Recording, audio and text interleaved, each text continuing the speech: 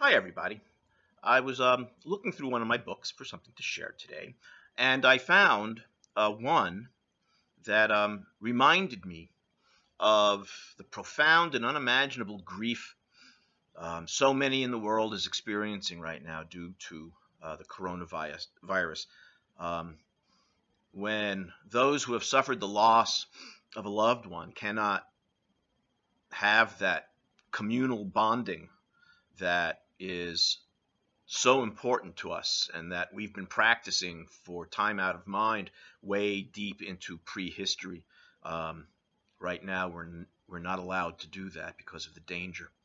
And, and so this reminded me of that. And it it's titled A Dirge uh, by Percy Shelley, another one of the English romantics. Rough wind that moanest loud grief too sad for song. Wild wind when sullen cloud knells all the night long. Sad storm whose tears are vain, bare woods whose branches strain, deep caves and dreary main wail for the world's wrong. Thanks for watching. We'll see you again next time. Have a wonderful day. Bye.